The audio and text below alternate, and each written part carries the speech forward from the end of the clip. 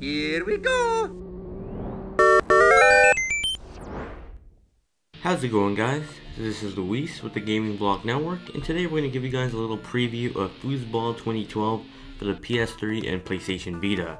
You can currently pick this up on the PlayStation Network for $7.99 or if you're like me and you have a PlayStation Plus account, you can get it for $5.99 and save yourself some money. The first thing I want to tell you guys is to try out the tutorials. If you're going to download the demo, if you're going to buy the game, try out the tutorials because the controls are a little bit weird on the Vita. I haven't played the PS3 version, but the Vita version particularly, the controls are kind of weird and they are hard to get used to kind of. You need to use the touchscreen, the left analog stick, and the combination of different face buttons. After you get the controls all set up, I highly recommend you practice like one or two matches with Quick Match.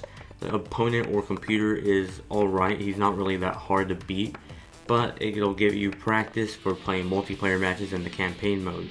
Multiplayer is probably the funnest part about this game because the opponents online are actually pretty good, at least the ones I played. With that said, online mode is pretty much my favorite mode so far. It's really fun and it's just really fast paced. The campaign mode is sort of like that pyramid of difficulty. It starts off easy and it gets difficult as you work your way through the campaign. Just from my first impressions, I'm sort of liking the game. The controls do have a learning curve, but once you get them, the game becomes a lot more fun. If you want to try out the game before you buy it, there is a free demo on the PlayStation Network. It won't do too damage on your Vita's memory card because it's only 134 megabytes.